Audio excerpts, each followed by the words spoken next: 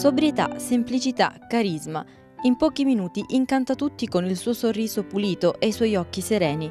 È così che l'attrice Claudia Coll, arrivata a Catanzaro per la consegna del premio speciale Solidarietà 2015, si presenta qualche ora prima dell'inizio dell'evento.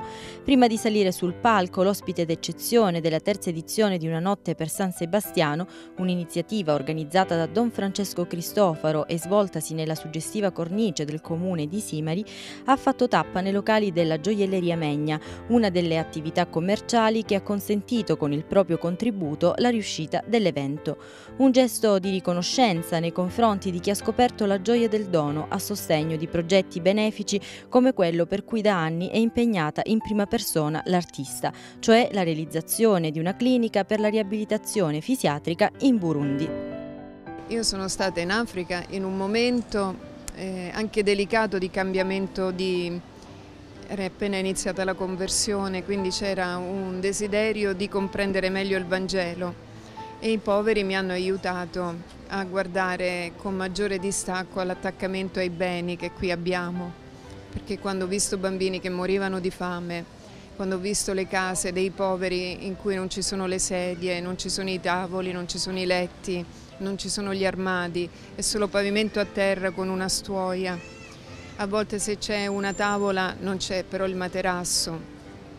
Allora sono tornata in Italia e ho cominciato a non sprecare il cibo, a comprarmi sì le cose, ma cioè, a non eh, straspendere più per me, ma pensare che c'è chi non ha proprio niente, quindi diventa proprio un'ingiustizia che eh, da una parte ci sia tanto e dall'altra parte del mondo non ci sia niente.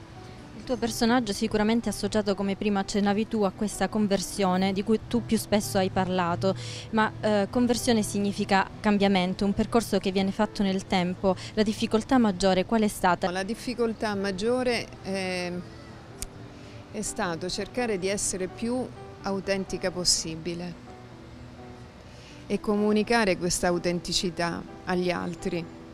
Un po' come dire togliamo tutte le false illusioni andiamo all'essenziale. E quindi, eh, perché l'uomo tende sempre a, a farsi sempre gloria, no? a costruirsi degli altari sui quali poi no? eh, inneggiare a se stesso.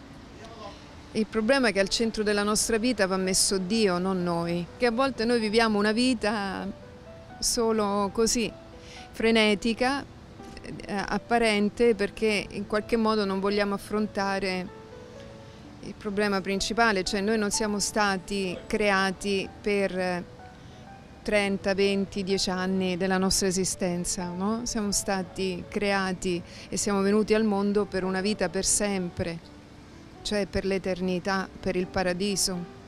E quindi bisogna togliersi tutte le false illusioni e cercare di capire qual è il senso della vita, perché viviamo, cosa c'è dopo la morte. Perché pensare che non esiste niente vuol dire eh, diciamo in qualche modo restringere il campo della propria esistenza, allora diventa disperante. Forse questo è un messaggio troppo difficile da far arrivare soprattutto alle giovani generazioni che sono eh, tempestate da eh, tante, tante distrazioni, a volte anche troppo forti. Però le distrazioni non danno la felicità, perché se, se andiamo a vedere ci sono molti giovani che soffrono dentro, che hanno delle ferite già pur essendo così giovani, no? E c'è in fondo, in fondo, in fondo una grande sete di verità in ciascuno di noi e di amore. E il segreto della vita è tutto questo, cioè amare, amare volersi bene, questo rimarrà